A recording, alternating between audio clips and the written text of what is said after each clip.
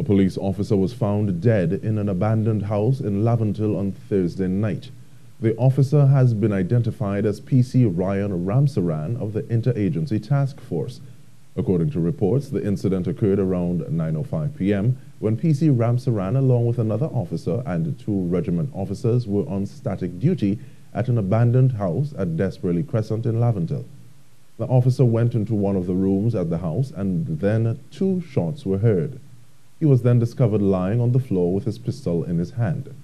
And the TTPS has expressed condolences on the passing of PC Ryan Rampersad. In a media release, the TTPS said PC Rampersad had close to five years service with the force and had been previously attached to the Eastern Division. Acting Inspector Ricardo Matos of the IATF, who worked closely with PC Ramsaran, described him as a model officer who was extremely intelligent and very dedicated to his job.